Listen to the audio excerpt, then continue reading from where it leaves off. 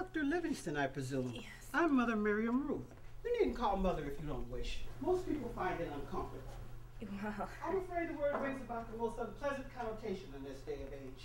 yes, well, I certainly You can call me sister. Thank you. You must have tons of questions. You can smoke if you want to. Just don't tell the other sisters. They wouldn't understand, especially Sister Marguerite. She'd scare the pants off Queen Elizabeth. Besides, I missed him. You were a smoker. Two packs a day, I could beat that.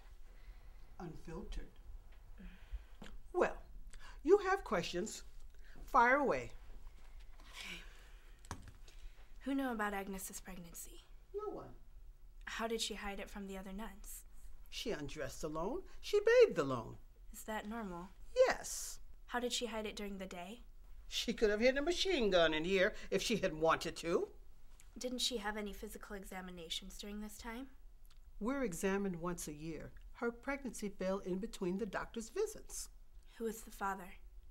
I haven't a clue. What man had access to her? Not as far as I know. Was there a priest? Yes, but I don't. What's his name? Father Martineau, but I don't see him as a candidate. Could there have been anyone else?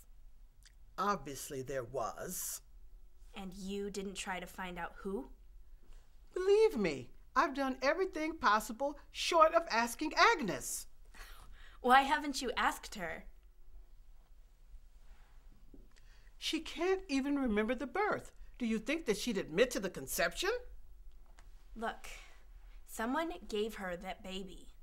Yes, but that was some 10 months ago. I fail to see how the identity of that somebody has anything to do with this trial. Why do you think that? Don't ask me those questions, dear. I'm not the patient. Well, I'm the doctor. I'm the one that's going to decide what is or is not important here. Look, doctor, I don't know how to tell you this politely, but I don't approve of you. Not you personally. The science of psychiatry? Exactly. I want you to deal with Agnes as speedily and as easily as possible. She won't hold up under any sort of cross examination. I am not with the Inquisition. And I'm not from the Middle Ages. I know what you are. I don't want that mind cut open.